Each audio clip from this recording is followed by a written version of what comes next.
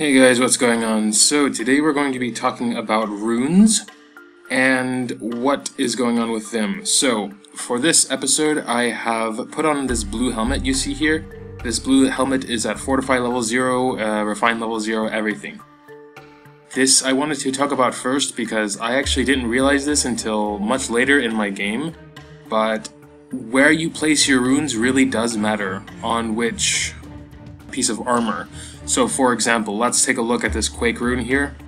I get 6,825 health from it, but if this helmet was Fortify level 80, then I would get over 13,000 health, and if it was Refine level 6, I would get another 6,800, so nearly 20,000 health.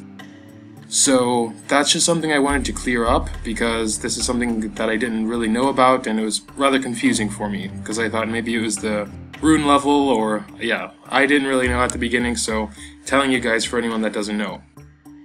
So one other thing I did want to talk about is what the runes are actually doing. So if you're a player that likes damage over HP, then you want to focus first on the Holy Fire rune because this rune has all damage attributes, so 3 damage attributes, so you'll be getting much more damage if, you're going for the Holy Fire rune. Next would be the Holy Wind rune, because you get still 2 attributes from damage and 1 from health.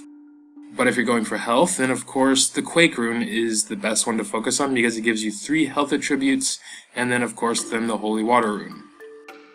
You should always keep your core runes a little bit higher than the rest because these will increase your overall and your elemental damage. So especially if you're a gunslinger and can benefit from all of the different elements. Where to get runes? This is a very hard question uh, because most of the runes you get kind of naturally, kind of just going through the story and stuff, but there is two ways to force runes.